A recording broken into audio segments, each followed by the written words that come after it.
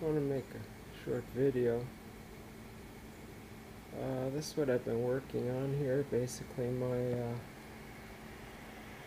kacher, new kacher circuit, and uh, basically following what Ruslan did with one of his earlier versions. So I have the uh, little gizmo here to turn back and forth and uh, basically set up just the same as the schematic. What I have on top here is a 2SC uh, 5200. Um, I just got it on there with a piece of plastic because uh, I tried to drill a hole through it and I, and I couldn't get it. I broke two drills and got to do it again. So anyway, it's just being held on. It's not working very well. It's got a a really small fan under it for some cooling. I don't know if it really does anything. It's not really enough. But anyway, uh, this this setup here seems to work pretty good, and uh, I still need to probably add another. Uh, what do you call it?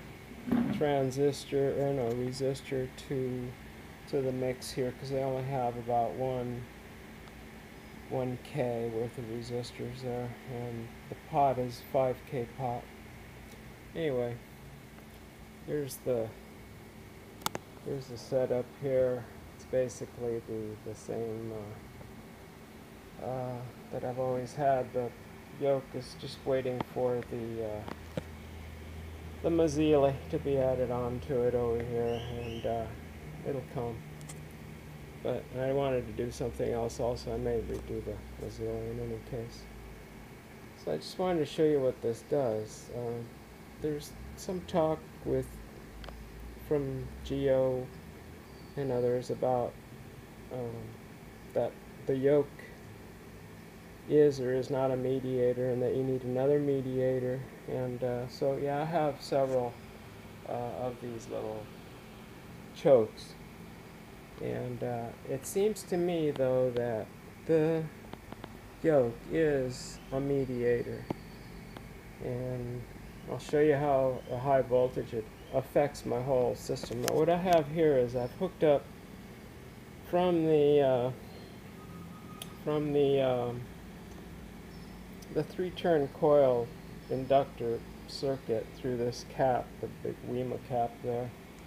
I've uh, I've connected that whole circuit together. The secondary of the yoke is not really connected to anything right now. It's it's connected to a little rectifier there, but the rectifier is not going to anything. It's just a little tiny rectifier just to play around with the idea. Haven't done anything with it yet.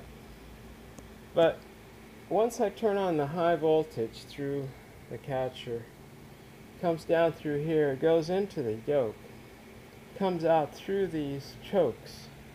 And I've got high voltage, I can do a streamer off of these chokes here. So if that goes back into the power supply, the power supply is probably going to be toast after a while. So anyway, I did put a, I put a, what do you call it, a diode on, onto my power supply, a 24 volt 10 amp power supply so it's it's got the diode going out but I don't know I mean if that's enough or not this spark probably jumps it. Any case uh, there's my scope and signal generator. So uh, let me turn this thing on. My transistor is still overheating so I can't really do this for very long at all but I'll do what I can. Um, first of all, the output coil, the grenade output coil, this output coil, excuse the mess over here, I, I have to redo that end there. Um, but the output coil goes right to these bulbs, and uh, these three bulbs. Two of them, the two on the right are are 25 watt, and the little guy is uh, a 10 watt. So uh, that's connected. It's all connected to this this kacher. The kacher is the only thing that's that's giving us any uh, any power to the whole system, but I just want to show you how it goes through this whole um, yoke circuit, and the yoke does become a mediator of a sort. So anyway, I'll, uh, I'll turn it on here. Excuse the shaking and bad quality. That's not the best camera. So here, I'm turning it on. That's the 10 watt bulb going right there, okay? Now this is just from the kacher. Ow! These RF burns are intense. It's a 25 watt bulb and a 10 watt bulb.